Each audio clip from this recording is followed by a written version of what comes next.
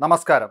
ചില ആഴ്ചകൾക്ക് മുമ്പാണ് ഇറാന്റെ തലസ്ഥാനമായ ടെഹ്റാനിൽ മൗസ ആമിനി എന്ന് പറയുന്ന ഒരു ഇരുപത്തിരണ്ടുകാരിയായ യുവതിയെ ഹിജാബ് ധരിച്ചില്ല എന്ന പേരിൽ ഇറാനിലെ സദാചാര പോലീസ് ക്രൂരമായി മർദ്ദിക്കുകയും തടങ്കലിലിട്ട് കൊലപ്പെടുത്തുകയും ചെയ്തത്. ഇതിനുശേഷം അവിടെ വലിയ പ്രക്ഷോഭമാണ് നടന്നുകൊണ്ടിരിക്കുന്നത്. സ്ത്രീകൾ തെരുവിലിറങ്ങുകയും തങ്ങളുടെ ഹിജാബുകൾ കത്തിക്കുകയും അതുപോലെ തന്നെ മുടി പരസ്യമായി മുറിക്കുകയും എല്ലാം ചെയ്ത് വലിയ പ്രക്ഷോഭം അവിടെ നടക്കുകയാണ്.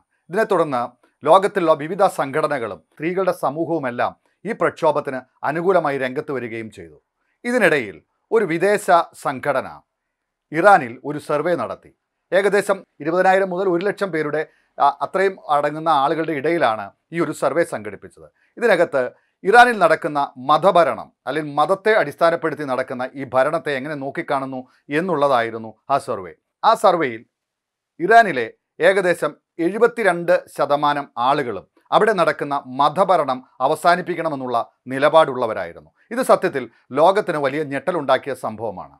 കാരണം ഇസ്ര ഇറാൻ ഒരു മുസ്ലിം രാജ്യമാണ്. അവിടെയുള്ള ആളുകൾ അത് ഇഷ്ടപ്പെടുന്നു എന്നാണ് പലരും കരുതിയത്. എന്നാൽ എഴുപത്തിരണ്ട് ശതമാനം ആളുകളും ഇത്തരത്തിലുള്ള കാടൻ നിയമങ്ങളുള്ള മതഭരണം ഇവിടെ അവസാനിക്കണം എന്നിട്ട് ഞങ്ങൾക്ക് സ്വാതന്ത്ര്യം വേണം എന്ന് അഭിപ്രായപ്പെടുന്നവരാണ്. ഈ സർവേ പുറത്തു വന്നത് കഴിഞ്ഞ ദിവസമാണ്.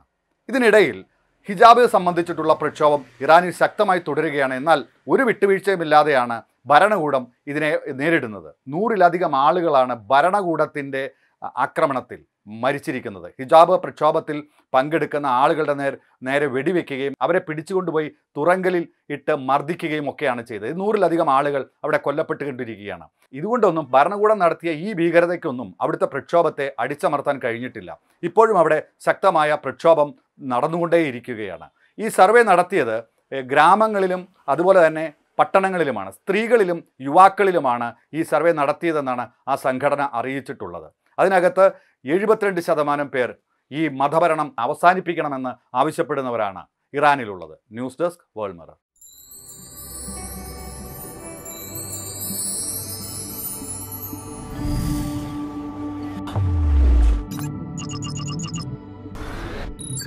Thank you.